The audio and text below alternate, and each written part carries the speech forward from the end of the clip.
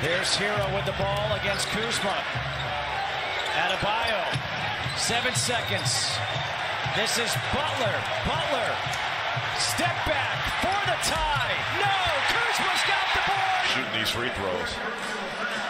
But great defense right here by Montrezl.